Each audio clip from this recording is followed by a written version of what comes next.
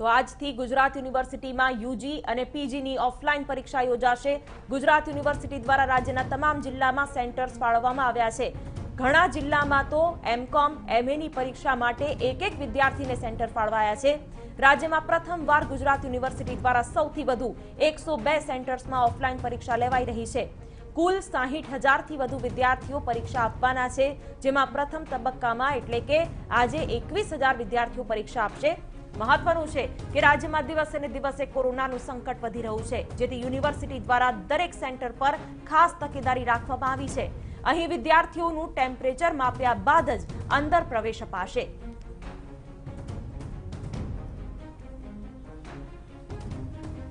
TV nine સંવાદદાતા દીપેન પઢિયાર જોડાઈ ગયા છે. દીપેન, કોરોના કાળમાં જે તમામ પ્રક્રિયાઓ છે, તેનું આખું સ્વરૂપ બદલાઈ ગયું છે. પરીક્ષાઓ પણ એમાંનો એક પડકાર છે. કેવી વ્યવસ્થા અત્યારે પરીક્ષા કેન્દ્રો પર આપ જોઈ રહ્યા છો?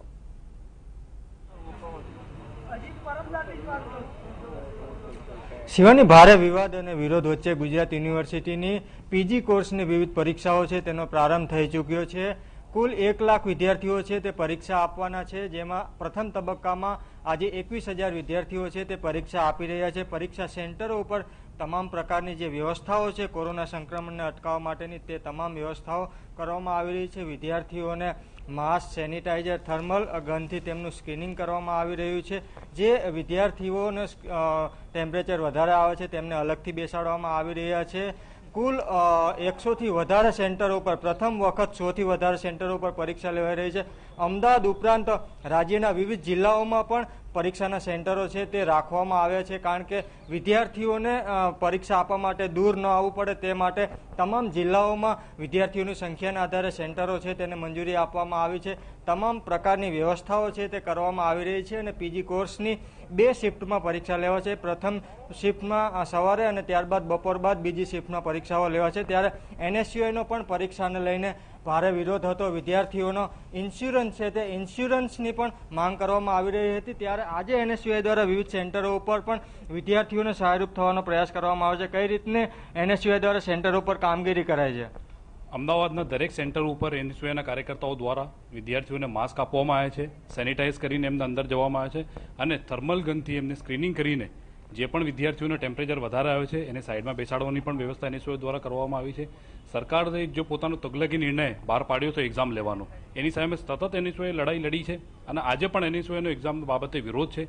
સરકાર જે પોતાની હઠધર્મીથી બાજ નથી આવી અને વિદ્યાર્થીઓને કોરોના કાળની અંદર જ્યારે રક્ષાની જરૂર છે, ત્યારે સરકાર પરીક્ષા લઈ રહી છે, તો વિદ્યાર્થીઓને કાળજીના ભાગરૂપે એનએસયુઆઈના કાર્યકર્તાઓ દરેક સેન્ટર ઉપર માસ્ક અને સેનિટાઈઝરનું વિતરણ કરી રહ્યા છે.